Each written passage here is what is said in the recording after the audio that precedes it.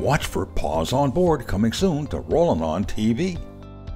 Join Dr. Fitz as she shows us the do's, don'ts, and what ifs when your pets decide they want to go camping and RVing also. It's informative.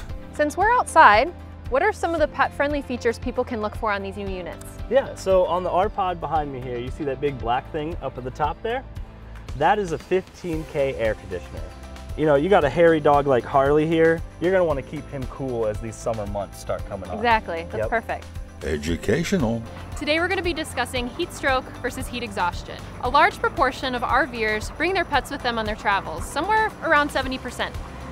Whether you plan to hang out in the campground or explore the trails, you should consider the safety of your dog. During the summer months, many popular vacation spots can get extremely warm and humid. Just like people, canines can become dehydrated and be impacted by the heat. And with pets, at times, on the light side. so excited. Welcome to Rollin' on TV's Paws on Board. I'm Dr. Fitz, and this is Theo. Today I'm going to be talking about tick prevention.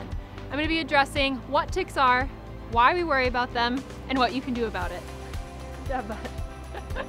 so the tools that you'll need for the job include tweezers, or there's commercially available tick remover tools, and antiseptic wipes.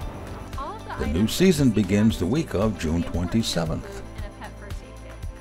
For information on TV stations and streaming media sites, visit RollinOnTV.com.